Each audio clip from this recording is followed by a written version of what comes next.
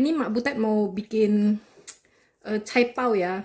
Jadi ini ada ubi jalar 150 gram. Ini udah Mak rebus ya. Jadi begitu selesai direbus ya, panas-panas ini Mak masukkan dulu. Ini biasanya Mak agak-agaknya. Kita timbang ya.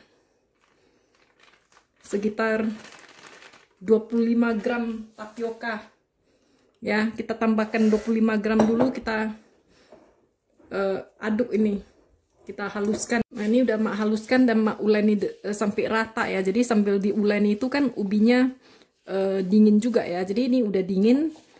Uh, baru kita campur lagi dengan 25 gram uh, lagi tepung tapioka. Setelah kita campur ya dia udah jadi dough gitu udah bisa dipulung-pulung, kita pulung beberapa biji seperti ini, 1, 2, 3, 4, 5. Terus kita rebus cenil-cenilan ini ya, kita rebus sampai matang dulu. Cenil-cenilannya kalau udah matang, kita masukkan ya, kita masukkan eh, satu-satu uh, gitu ya, satu-satu terus kita ulen nih. Jadi ini cenil-cenilannya ini jadi lem ini sekarang.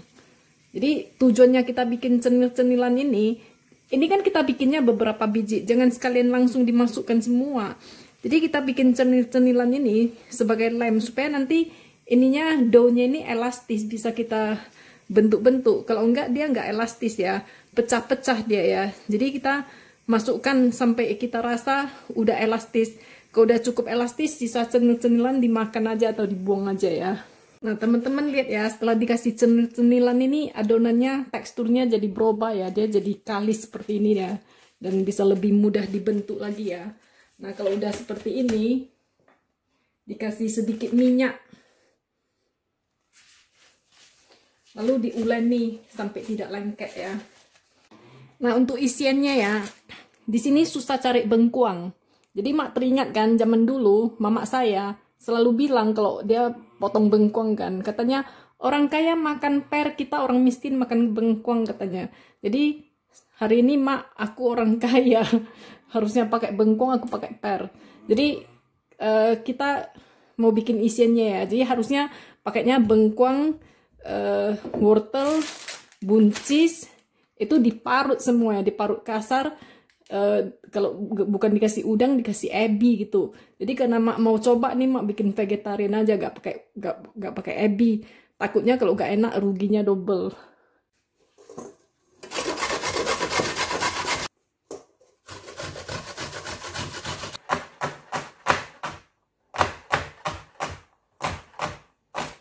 panaskan dulu minyak terus kita tumis dulu bawang putih ya.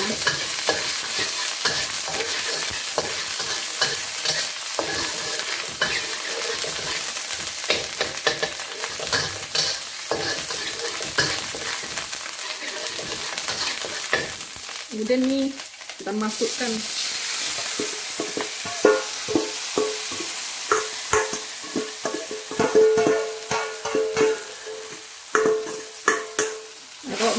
pakai ebi mau pakai uh, udang itu ditumis bersama dengan bawang putihnya ya. Udah wangi baru masukkan sayurnya.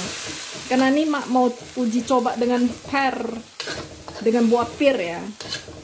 Jadi ini uh, mak bikin vegetarian aja supaya kalau nggak enak jangan jangan double rugi. Kasih garam kasih merica kasih penyedap rasa nah ini mak tumisnya sampai agak kering gitu ya. Supaya gampang bungkusnya. Nah, ini udah boleh kita matikan api. Dan kita biarkan dingin baru kita bungkus ya. Nah sebelum kita mulai uh, mengerjakan cai pau kita ininya kita olesin dengan minyak ya. Supaya nanti cai nya gak lengket-lengket di daun pisang. Ini kukusan ini. Jadi cara bungkusnya gini ya tangan dikasih tepung. Seperti mau bikin pempek gitu. Terus diambil daunnya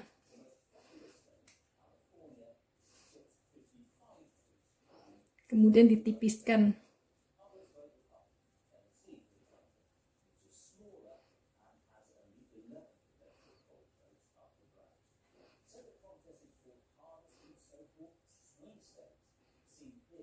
jangan terlalu tipis ya nanti dia bolong itu. Udah gitu-gitu ya. Ini uh, isiannya mesti ditiriskan ya. Kalau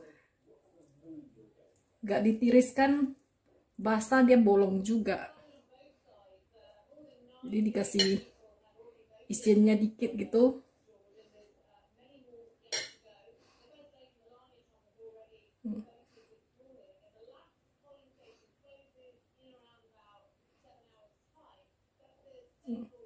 terus ini kayak bikin pastel gitu.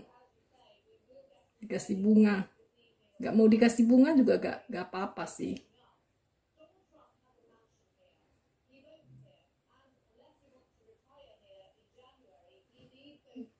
Udah langsung ditaruh aja di sini.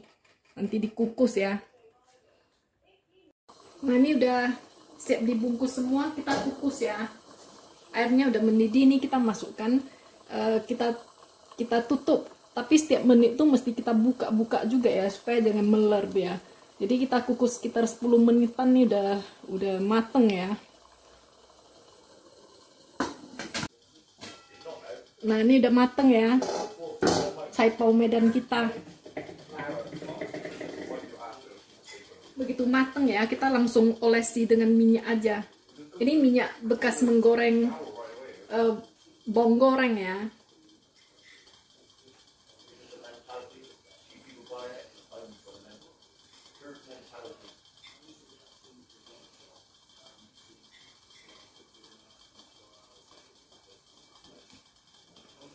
Nah, jadi ini udah selesai kita tinggal tunggu agak dingin sebentar baru kita angkat ya. Nah ini kalau udah selesai nih cai medan ini kita uh, taburi dengan bawang goreng ya dan disajikan dengan sambal cabai serbaguna resep Mak Butet yang udah pernah Mak Butet upload sebelumnya ya videonya. Ya nanti Mak kasih link di kotak deskripsi ya